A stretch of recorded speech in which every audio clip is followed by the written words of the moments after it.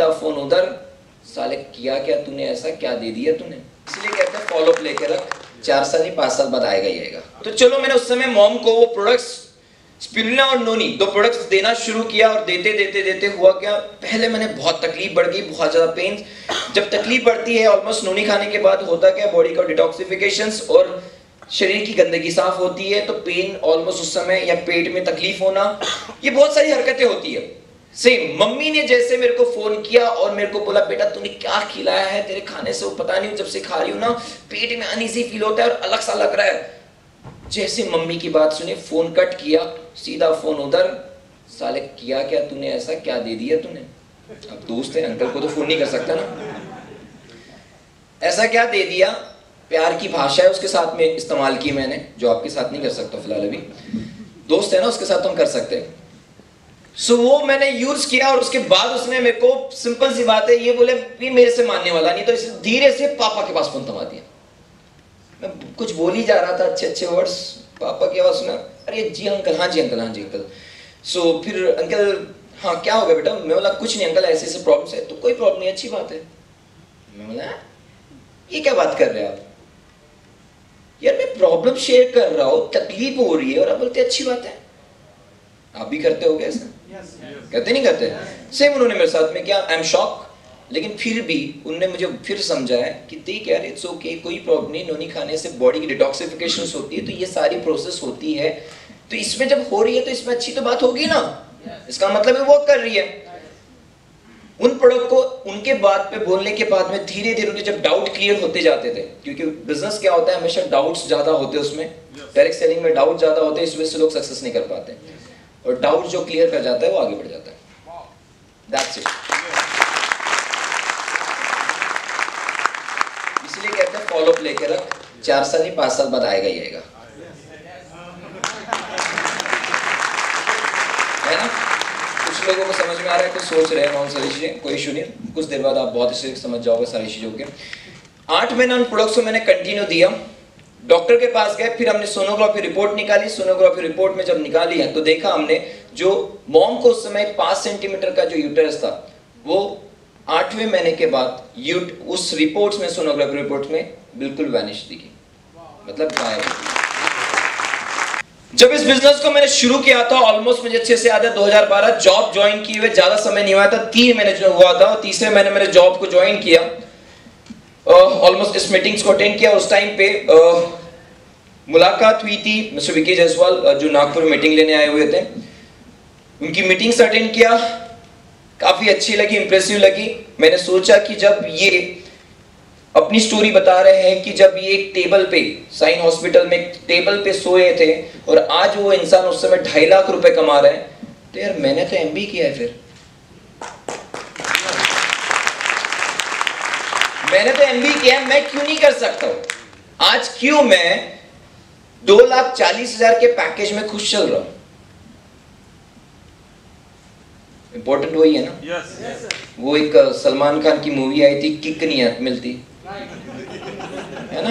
Kick नहीं मिलती मुझे भी नहीं समझ में आ रहा था कि एक्चुअली ये होता है कि ये लोग कमाते हैं ऑल उस समय हमारे दिमाग में आता है क्योंकि कहते हैं more education kills your common sense जब ज़्यादा पढ़े लिखे कर लो ना। उस समय ना तुम दिखा भी दो। कि इसके सच्ची में अकाउंट मारा है? फिर भी वो अकाउंट में आई रकम को लगा? नहीं यार, इसने तो कहीं ना से फ्रॉड करके कुछ ना कुछ फर्जी काम करके बना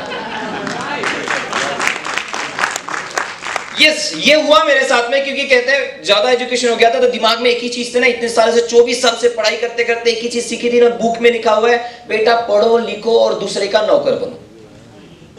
और पढ़ो, लिखो और दूसरों की कंपनी को आगे बढ़ाओ। कभी ये नहीं सिखाया गया एमबीए में मेरे को कभी ये नहीं सिखाया गया बेटा अब तू इसको अच्छे तरीके से पढ़ प्रैक्टिकली कर और खुद की कंपनी स्टैब्लिश कर। ये मुझे नहीं सिखा था वहाँ पे लेकिन वहाँ पे हमको एक कोर्स भी था ऑलमोस्ट एक चैप्टर्स थे नेटवर्क मार्केटिंग के बारे में जो पढ़ा हुआ था क्योंकि मार्केटिंग से related I am so happy क्योंकि मार्केटिंग मेरे लिए पहले से बहुत ज़्यादा फेवरेट सब्जेक्ट्स रहा हुआ है दैट्स आई बहुत इंटरेस्ट से पढ़ा पढ़ा करता था। ग्रेजुएशन टाइम पे नहीं पढ़ाई किया, क्योंकि उस समय आईटी सेक्टर्स दे दिया गया था तो उसमें कोई वो दिमाग में नहीं पल रहा होता था। हुआ क्या फिर उसके बाद में मीटिंग्स अटेंड किया मीटिंग्स अटेंड करने के बाद जैसे आज आप बैठो, मैं भी ऐसे बैठा हुआ था। मैं बहुत स्मार्ट पर्सन आगे नहीं बैठा, पीछे जाकर के बैठ गया। क्योंकि पता है, थोड़ी देर बाद बोर होने वाला इंसान। तो धीरे से मोबाइल निकालना है। टुकुर टुकुर टुकुर। टुकुर टुकुर टुकुर। बैचलर इंसान।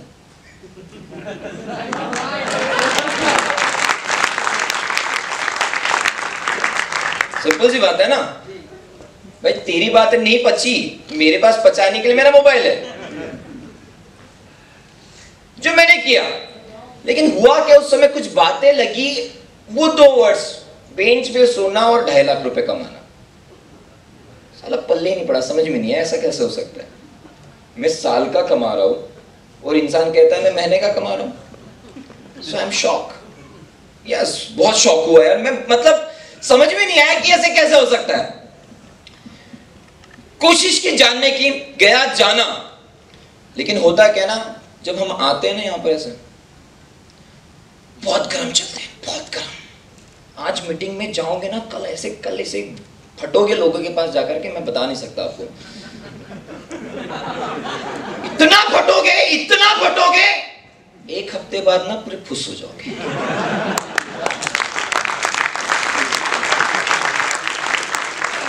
होता क्या है ना, हम जिस इन्वायरमेंट में जाते हैं ना, वो ऑलरेडी पिंच मारने तैयार होते हैं। क्योंकि निगेटिव इन्वायरमेंट में रहते हैं। और हम उनसे मिलते हैं जो ऑलरेडी सेट करके बैठे हुए दिमाग कि आज मीटिंग में गया ना ताली तो बिल्कुल नहीं बजा साला, कितनी भी अच्छी बातें कर ले या कितनी भी बुलवा ले, ताली तो नहीं बजाऊँगा मैं। वैसे ही वो दिमाग में सेट करके बैठे, साला, एक कुछ भी लेकर के आ जाए। कुछ भी लेके आ जाए तू। तू ऐश्वर्या राय को लेकर के आ जाए किसी को भी लेकर के आ जाए, नहीं करूँगा मतलब नहीं करूँगा। वैसे ही हो रहा है ना, कुछ ताली बजा रहे, कुछ नहीं बजा रहे सेट करके है ना।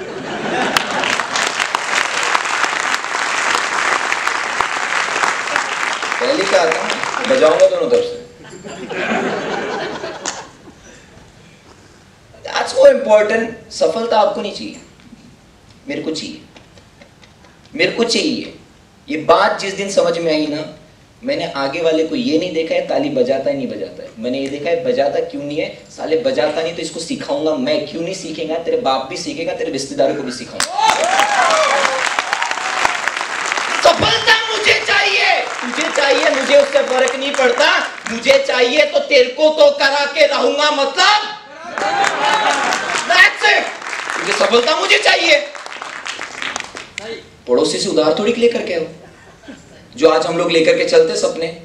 कोई सीनियर आता है, कोई बताता है कि भैया इसने कार ले ली, यस सर, अब मैं भी देखो। ग्यारह कार नहीं, बीस कार, अब तो देखो। दूसरे महीने में नहीं, सर, छह महीना रुक जा मेरी नई कार नहीं है तो बात खत्म छह महीने बाद फ़ोन करे तो अरे सर, क्या बताओ ज़िंदगी में इतनी बड़ी तकलीफ़ से गुजर रहा हूँ। ये हमेशा यही होता है। से मेरे साथ में हुआ, अब स्टोरी पे आता हूँ मेरे। एक्चुअली हुआ क्या? जब मीटिंग्स अटेंड किया जोश जोश में ज्वाइन कर लिया। ठीक है? लेकिन पता चला, मेरी ज्वाइनिंग तो एक साल पहले ही हो गई थी। मैंने पूछा, ये कैसे हुआ भाई? मेरे को आज बिज़नेस ज्वाइन करना है और तू कह रहा है कि मेरी ज्वाइनिंग एक साल पहले हो चुकी है। बोले, नहीं बोले, मैं 2011 जो जनवरी में ज्वाइन किया था, उस समय मैंने तेरा, उस समय याद है तेरे को? मैंने एक डेट ऑफ़ बर्थ मांगी थी तेरा। उस समय कुछ डॉक्यूमेंट्स की ज़रूरत नहीं पड़ती थी। तेरी एक डेट ऑफ़ बर्थ मांगी थी ईमेल आईडी मांगी थी। बोला हाँ यार, मांगी थी तो तूने और पूछा भी था मैंने, तूने बातों को टाल दिया था। ज्वाइनिंग तो हो गई है। तो अब क्या करूँ? मुझे स्टार्ट करना है इस चीज़ को, क्या करें? उस ज्वाइनिंग को कंटिन्यू किया मैंने ऑलमोस्ट अब उस ज्वाइनिंग को कंटिन्यू किया और करना था बिज़नेस जिसको एज अ पार्ट टाइम पहले मैंने तीसरा महीना चला था जॉब का और पार्ट टाइम पहले मैंने इसको स्टार्ट किया जोश में बहुत ज़्यादा था इसलिए मार्केट में चला गया मार्केट में गया मार्केट में गया इतने लोगों से मिला इतने लोगों से मिला इतने लोगों से मिला इतने लोगों से मिला इतने लोगों से मिला तीन महीने तक कोई ज्वाइनिंग ही नहीं आई